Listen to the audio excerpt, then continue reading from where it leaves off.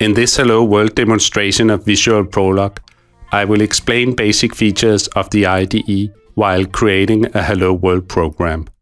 First, I create a project by selecting New in the Project menu. This brings up the project settings dialog for the new project. I will use Hello World as project name. The project name is also the name of the final executable. This program is not going to have a graphical user interface, so I select Console Application as project kind.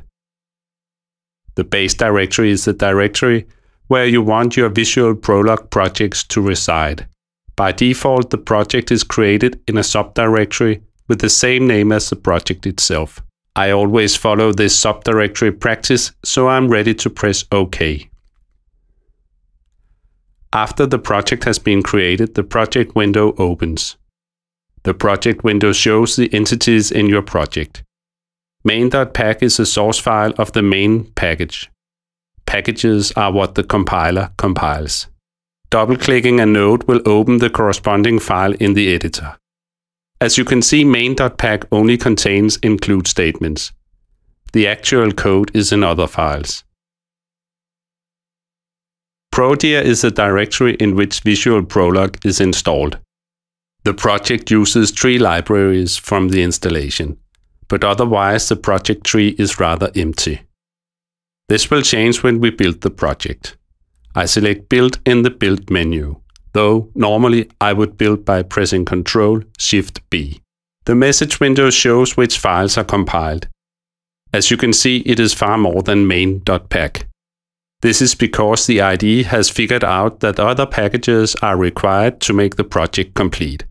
Now that the build is finished, the project tree contains many more nodes. First of all, a lot of packages have been added from the Visual Prolog installation. For example, the console package.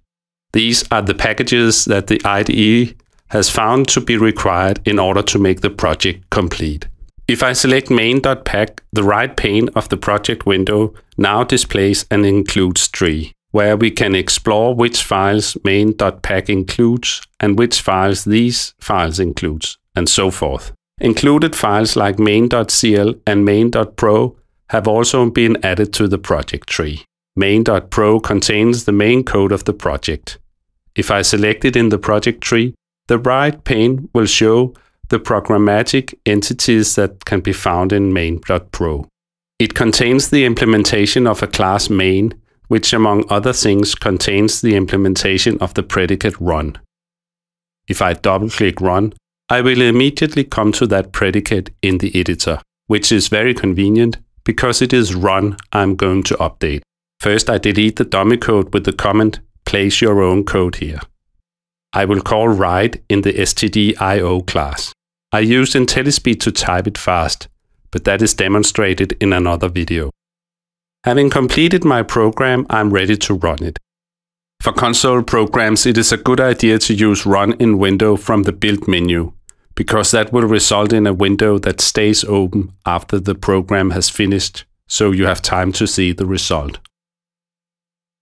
If you want to try out Visual Prolog, you can download the personal edition from our homepage www.visualprolog.com.